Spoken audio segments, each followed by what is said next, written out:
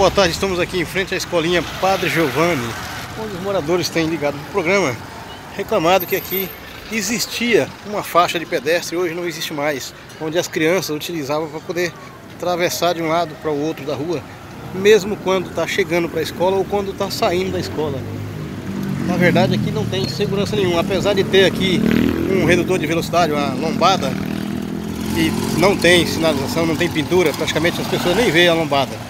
Mas já ajuda de certa forma a evitar aqui a velocidade dos veículos que passam.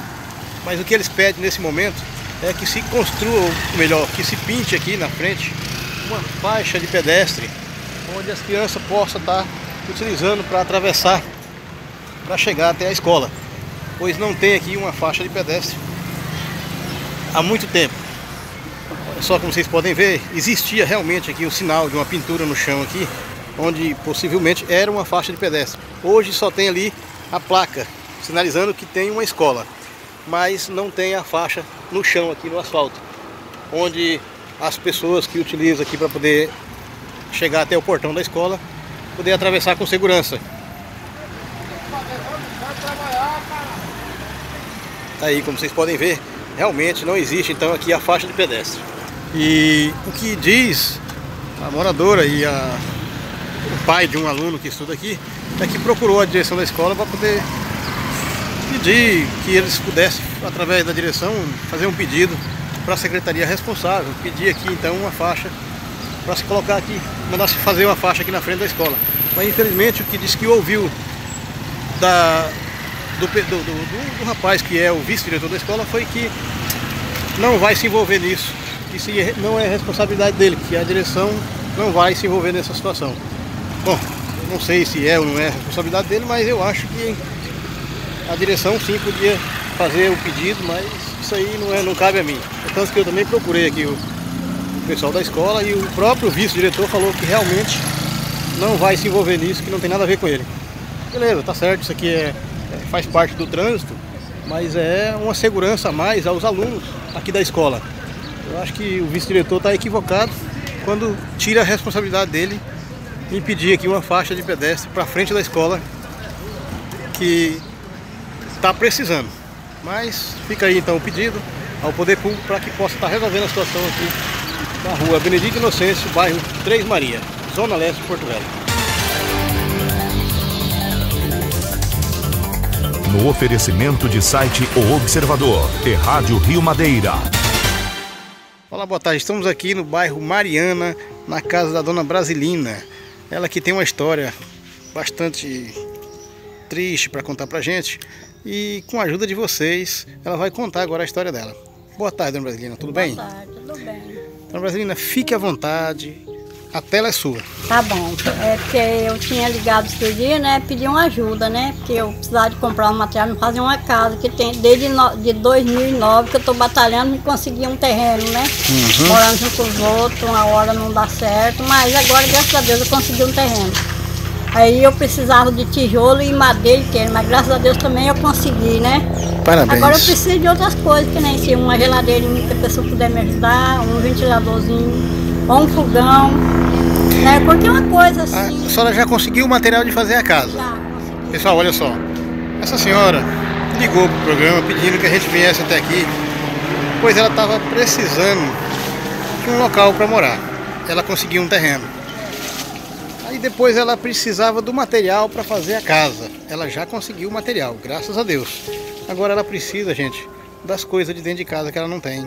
Uma geladeira, um fogão, uma máquina de lavar. É, um colchãozinho. Olha aí, o colchão, a cama, né? Aqui a caminha tem Quem ali, puder, tá assistindo essa matéria, que puder, tá ajudando a dona Brasilina. Qualquer coisa que me ajudar já me serve, né? Porque o meu salário é mal para comer e ver comprar remédio, alguma coisa, né? Dona Brasilina, a senhora tem um Pix, uma conta, alguma coisa que Tem o o- é, o pique do telefone da minha filha, né? a senhora pode passar para o pessoal que está assistindo essa matéria, de repente dar uma força para a senhora? falar com ela?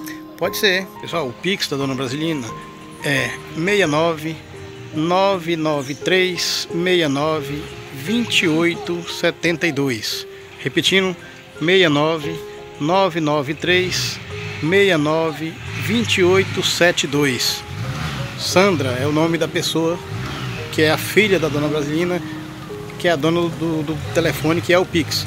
Quem puder, tá dando essa força para a dona Brasilina, com certeza, quando a, a, a doação é de coração, a gente não importa o valor, o que importa é a ajuda que está dando. E a dona Brasilina é uma pessoa que está precisando, a gente vê no rosto dela, uma pessoa sofrida, tem trabalhado muito, tem lidado muito na vida para poder sustentar os filhos. Hoje os filhos estão criados, quem pode ajudar está ajudando, mas ela ainda assim está precisando da ajuda de vocês, telespectadores que estão assistindo nesse momento essa matéria. Dê essa força aí à dona Brasilina. É como ela disse, ela está precisando de uma ajuda, seja ela financeira ou até mesmo como fosse com bens materiais, tipo uma geladeira, uma cama, colchão, fogão, ela não tem nada. Ela está precisando das coisas para dentro de casa. Ela mora aqui nessa casinha simples, que na verdade não é dela, é da filha dela. E o genro dela está pedindo a casa para poder fazer uma reforma. Então ela precisa desocupar a casa para poder eles mexer na casa. Ela realmente ela mora aqui de favor. Ela já tem o terreno dela, já está construindo a casinha dela, que ela ganhou material. Mas o que ela precisa agora para poder entrar para dentro de casa é dos utensílios doméstico, doméstico, que é um fogão, uma geladeira, uma cama, um colchão. Quem puder estar tá dando essa força para a dona Brasilina, vou repetir de novo o Pix 69993 692872. O endereço da dona Brasilina fica aqui, bairro Mariana, rua Carlos Reis 10494, não é isso? É isso. É. Pessoal, de coração, dê essa força a essa senhora, ela precisa. No oferecimento de site O Observador e Rádio Rio Madeira.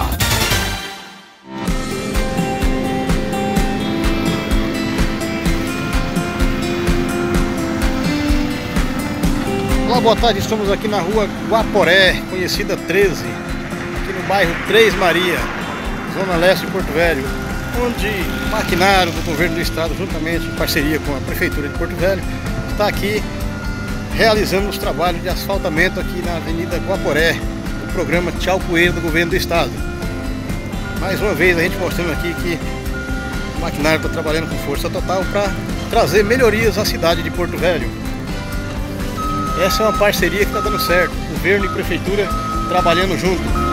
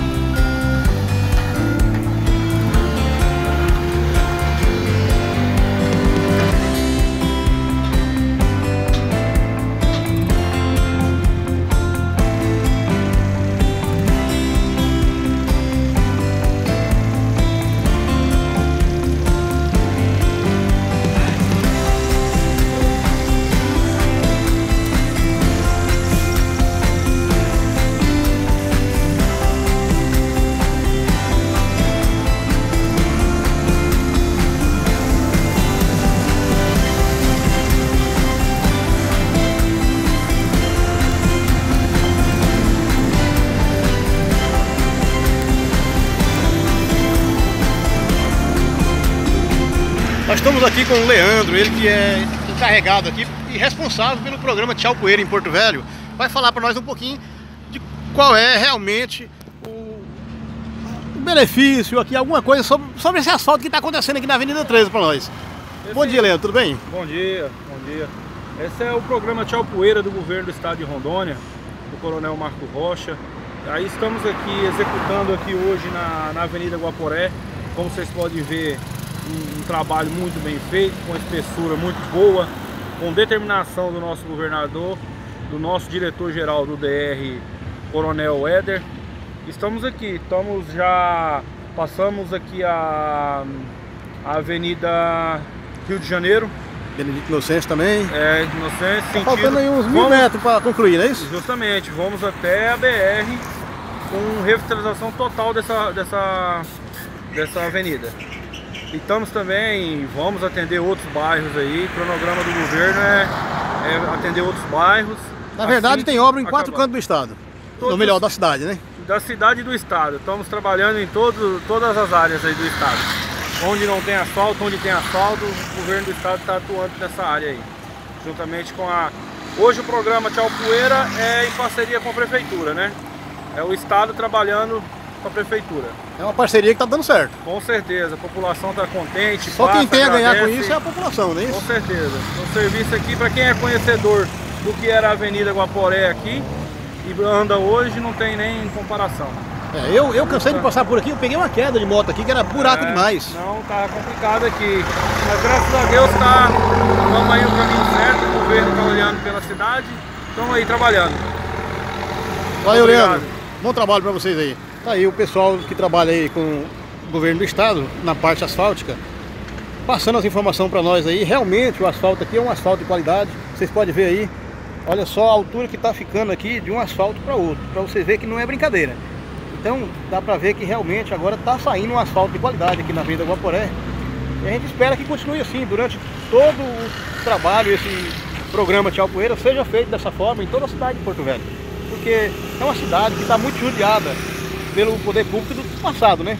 As gestões passadas não têm dado a atenção que a cidade merece. Hoje nós temos aí uma parceria do governo e prefeitura que está resolvendo essa situação. E aí, só quem tem a ganhar com isso é a população. É como a gente sempre fala, o povo merece.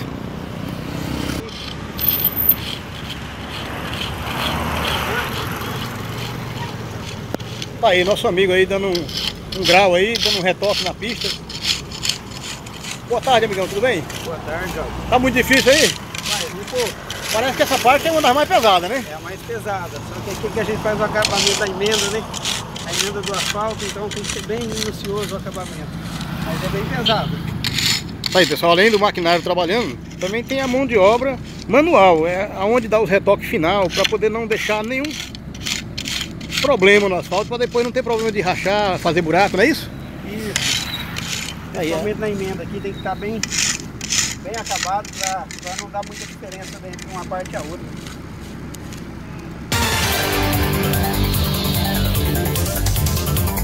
No oferecimento de site O Observador e Rádio Rio Madeira.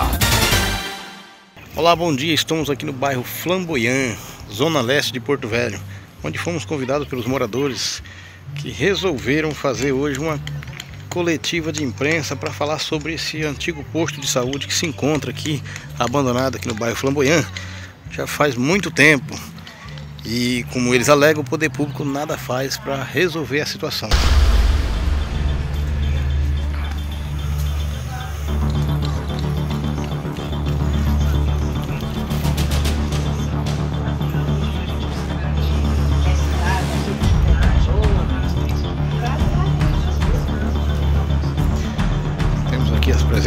Vários moradores, inclusive a Landa Leste. Bom dia, seu Luiz Carlos, tudo bem? O senhor mora aqui no bairro há quanto tempo, seu Luiz? Moro há 17 anos aqui no bairro Flamboyant. 17 anos. Há quanto 17 tempo tem essa obra parada aqui? Ela tem mais ou menos uns 6 anos parada. Seis anos. Chegou a ser concluída ou começou e não terminou? é, começou e foi concluída. Ela foi concluída. Foi entregue, mas não funcionou. Ela ela chegou a ser inaugurada, então?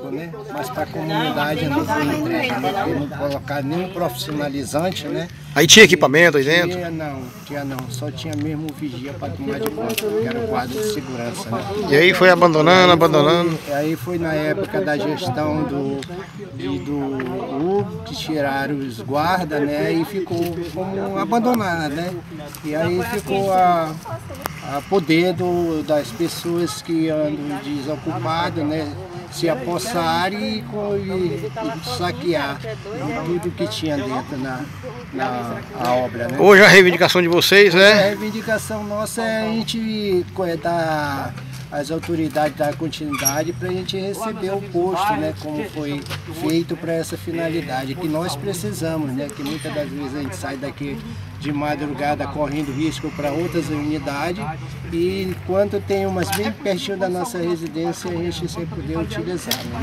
Parece que aqui no bairro de vocês não tem só o posto de saúde que está desse jeito, também tem o começo de uma praça, de um Sim, poliesportivo. nós temos aí um projeto né, trabalhado pelo presidente do bairro, é é um projeto de uma praça, né, que dá é, para fazer exercício, exercício físico, né, exercício, então tudo isso é um projeto e esperamos né, que todos estejam, estejam com essa mesma mentalidade para dar o melhor para nós, né, para a gente poder é, contribuir com o dever público também. Né. Tá certo, isso aí é, é, é o essencial, né? É. O senhor mora aqui há quanto tempo? É, o que acontece é que meus, meus, meus vizinhos falaram mesmo que é uma grande vergonha aqui no nosso bairro. Né? Uma, uma casa que foi construída para servir para nós está desse jeito. E o prefeito não liga, não se importa. Ele pensa que fez só asfalto aqui, não, ele fez muita coisa. Fez, o asfalto sim. Mas nós não precisamos só do asfalto, não, nós precisamos um hospital aqui dentro também. E lá no Tranqueiro Neve é a maior humilhação. De diretor de tudo lá, uma humilhação. Você não, só tem tal dia. Não, é só tal hora. Não, não é desse jeito. A administração lá é muito fera com a gente. Podendo ser atendido aqui no bairro, né?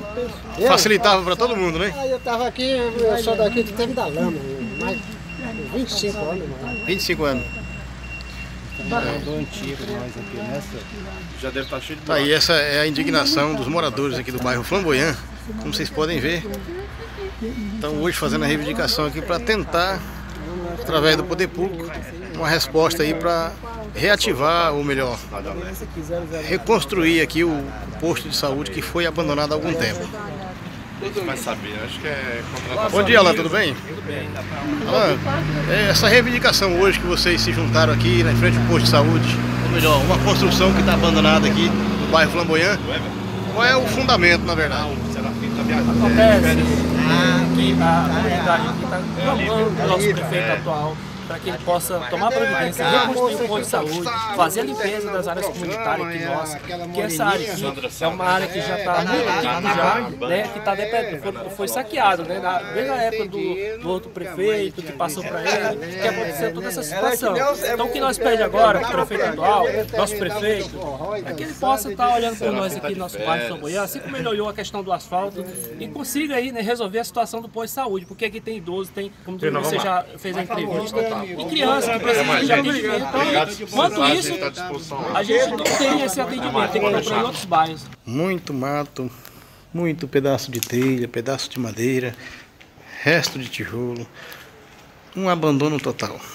Esse descaso, como vocês estão vendo, se encontra aqui no bairro Flamboyant, zona leste de Porto Velho. Uma antiga unidade de saúde que seria inaugurada aqui foi construída, mas nunca foi entregue à população. Hoje está aqui em pleno abandono, totalmente destruída. E a população hoje está fazendo uma reivindicação para tentar, junto ao poder público, a reativação, ou melhor, a reconstrução dessa unidade de saúde. Como alegam os moradores, se isso aqui funcionasse, não tinha necessidade de passar tran tanto transtorno quando vai ser atendido em uma outra unidade de saúde em um outro bairro. Eu moro aqui há mais de 10 anos. E eu nem sabia que tinha esse posto aqui, né? Quando o Alain fez uma reportagem aqui, que eu vi na, na reportagem que ele fez, não me lembro o ano. É, esse posto estava coberto, com as portas de vidro, pia, todo pintadinho, bonitinho, porque tinha vigia aqui, né, que vigiava. E agora o posto está nesse estado, nessa calamidade aqui, ó, que vocês estão vendo. E é isso, gente. A gente quer um posto para o bairro. E quando eu preciso fazer, uh, ir no médico, eu tenho que ir lá no posto do Caladinho, onde eu tenho um cadastro. Lá. Quer dizer que a senhora chegou a ver esse posto de saúde? Cheguei. Todo padronizadinho? Pia, todo, todo arrumadinho. Eu não sei qual era o problema dele não está funcionando. Fala, fala a verdade para mim. Bate uma tristeza no coração quando a gente vê uma situação dessa, vê o antes e vê o depois, né? Bate. Tá horrível isso aqui. Sem contar que é o dinheiro da gente que é jogado fora, né?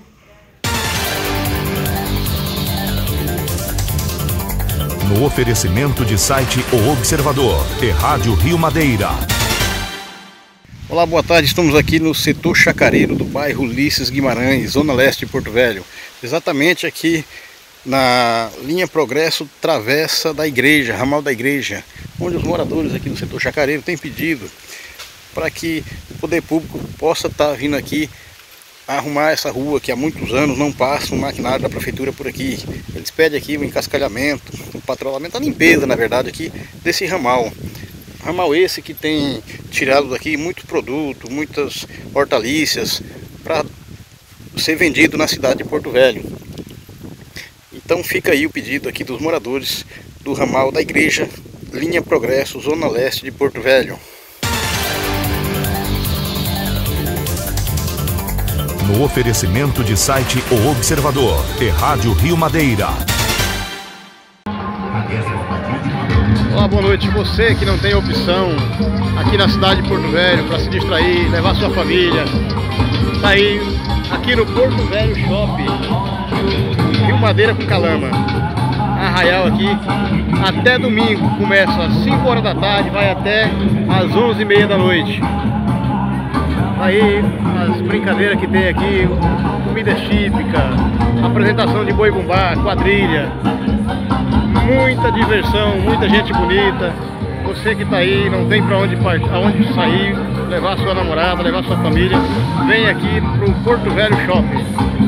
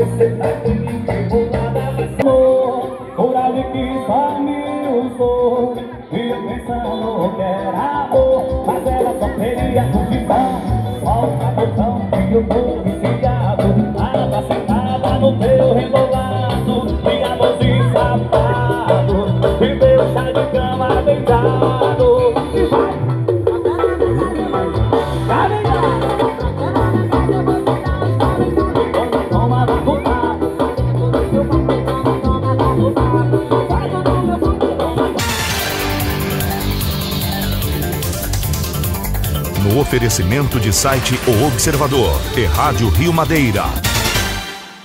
Olá, boa tarde. Estamos aqui na Rua dos Comerciários, bairro Lago... Lagoinha, onde os moradores têm reclamado que o programa Tchau Poeira ainda não chegou em sua rua. Mas existe hoje o programa Tchau Poeira do governo do estado em parceria com o município que está resolvendo o problema das ruas dos bairros de Porto Velho, principalmente na zona leste da cidade. Nós estamos aqui com o Adalto, ele que é morador aqui, também quer fazer a sua reclamação. Tudo bem, Adalto? Tudo bom. Cara, então, nós moramos aqui já faz uns sete anos, né? Essa rua nunca foi arrumada, né? Sempre foi assim, abandonada, os matos tomando de conta aí, ó. Entendeu? Ninguém arruma, não limpa aí. É, cara, não passa ninguém aqui, é um perigo danado aqui, entendeu? Então nós estamos aí, porque tem um bueiro bem ali, né? E essa água só fica acumulada aqui, ela não corre pra lá essa água, entendeu? A água de lá seca lá e aqui fica tudo acumulado, essa parte aqui, ó. Falta drenagem. Falta de drenagem, entendeu? Mas e aí, o programa Tchau Poeira do Governo do Estado, em parceria com o município, com certeza vai abranger a rua da sua casa. Agradeço muito sobre isso aí, entendeu? Muito obrigado mesmo. Programa Tchau Poeira. Tá aí, esse aí é o Adalto, ele que é morador aqui na rua do Comercial, no bairro Lagoinha, da cidade de Porto Velho, Zona Leste, onde ele tem reclamado que a sua rua se encontra assim há sete anos. Sete anos que ele mora aqui e há sete anos essa rua está nessas condições, totalmente abandonada, com mato, lama, muito buraco e muita água. Você vê, a gente já está no período do, da, da, seca, né? Já parou o período chuvoso, o inverno já acabou, já estamos no verão e até agora a rua continua alagada, sem nenhum movimento, sem ninguém aqui para poder resolver o problema aqui dessa rua. Mas a gente espera, como diz o Adalto, que programa Tchau Poeira possa estar tá vindo aqui resolver o problema aqui dos, das ruas aqui do bairro Lagoinha. Também ter uma iluminação também é bom, né? Olha aí, ele está dizendo que a iluminação aqui da rua também não funciona. Não funciona não, a iluminação aqui é só porque ela é, é escura, né? Aqui fica uma visão muito ampla aqui para vagabundo, tipo pessoas assim que passam aqui, entendeu? É isso aí. Tá aí, essa é a reivindicação do Adalto. Ele também está pedindo aí a Indu, que é a secretaria responsável pela iluminação municipal de Porto Velho, possa estar tá resolvendo aqui a situação das lâmpadas que estão apagadas aqui na rua do comerciário, bairro Lagoinha. No oferecimento de site O Observador e Rádio Rio Madeira. Olá, boa tarde. Hoje recebemos aqui no estúdio a Micaela, ela que é modelo fotográfica e veio aqui nos fazer uma visita e ao mesmo tempo fazer um pedido aí a vocês, telespectadores. Boa tarde, Micaela, tudo bem? Boa tarde, boa tarde, gente. Eu me chamo Micaela Kettler. Eu vim aqui pedir um apoio de vocês para poder me ajudar nos, na, nos gastos com a passagem para São Paulo. Fui selecionada. Eu sou da agência For Models, sou uma das modelos deles e fui selecionada para ir para São Paulo dia 23 de julho. Aí eu queria alguns patrocinadores, umas pessoas que puderem estar me ajudando a poder cobrir os gastos do hotel e da passagem volta. Micaela, você está indo para um evento, é algum tipo de desfile, o que, que vai ter lá? É uma convenção. Essa convenção é onde as modelos são selecionadas das agências para poder ser descobertas, para trabalhar profissionalmente. E você tem um gasto no valor de mais ou menos dois mil reais. Exatamente. É passagem, é hospedagem. hospedagem. Então, no caso, você gostaria de pedir essa ajuda aos telespectadores, quem puder patrocinar esse valor para você? Qualquer ajuda é bem-vinda, qualquer, pode ser pouco, muito não, só me ajuda. Desde que lhe ajude, né? Exatamente, eu vou estar agradecendo muito. Mas como poderia ser essa ajuda? Você tem um Pix, uma conta? Eu tenho um Pix. Passa o Pix para os telespectadores. Meu Pix é número de telefone 69 999 68 0203. Olha aí, pessoal, quem puder, dar essa força aí para a Micaela, ela que foi selecionada. Gente, é daqui da nossa terra, é daqui da região, é daqui de Porto Velho. Foi selecionada para representar. representar a nossa cidade lá em São Paulo.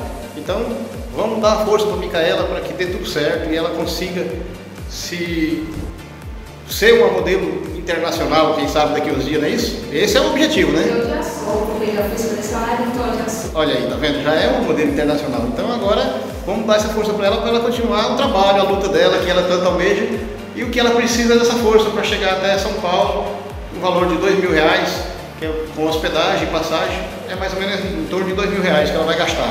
E ela precisa dessa ajuda quando ela chegar até lá. Quem puder, estiver assistindo aí, ela vai repetir o Pix. É 69 999 68 0203. Número de telefone. No seu próprio nome, né? Sim, Micaela Ketlin. Micaela Ketlin. Então tá aí.